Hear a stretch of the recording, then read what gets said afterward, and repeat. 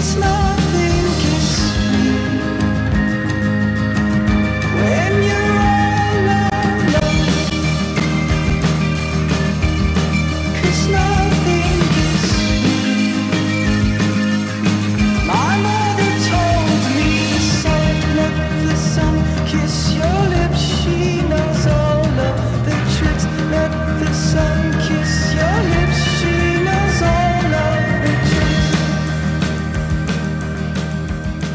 Well, I am Kepa Acero and I am from Algorta, a little village here in the Basque Country.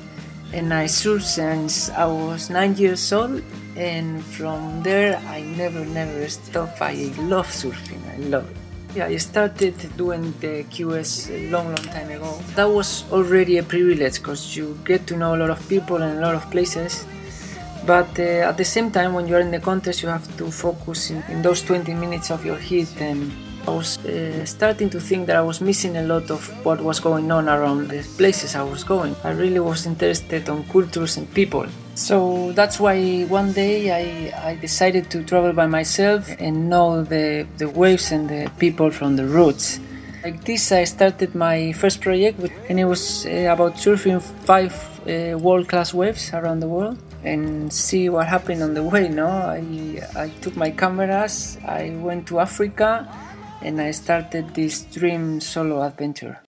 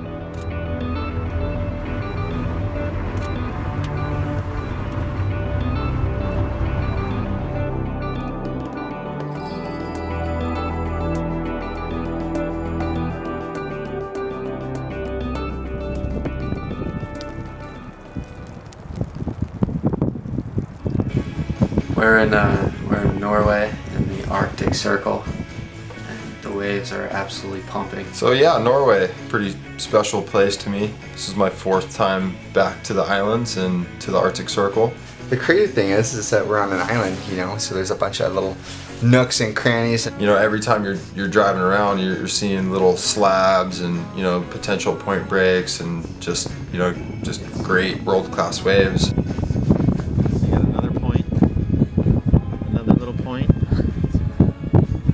Another one, and then what the outside can do. Right where we're staying is like in this crazy valley, and uh, there's like ginormous mountains. When I first came here, I was just in shock. You know, it looked like a frozen Arctic Hawaii. You feel really small here.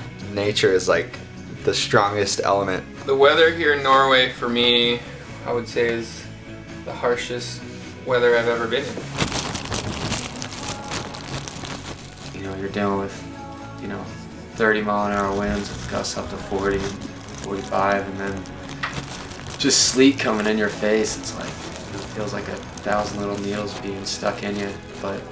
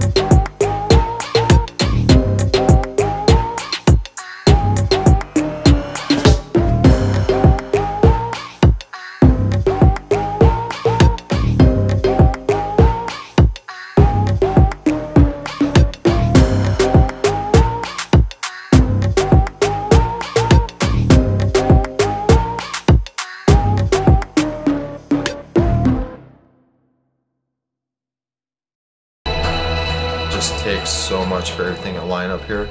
But that's what kind of keeps me coming back is, you know, getting those moments because that's what this place is all about.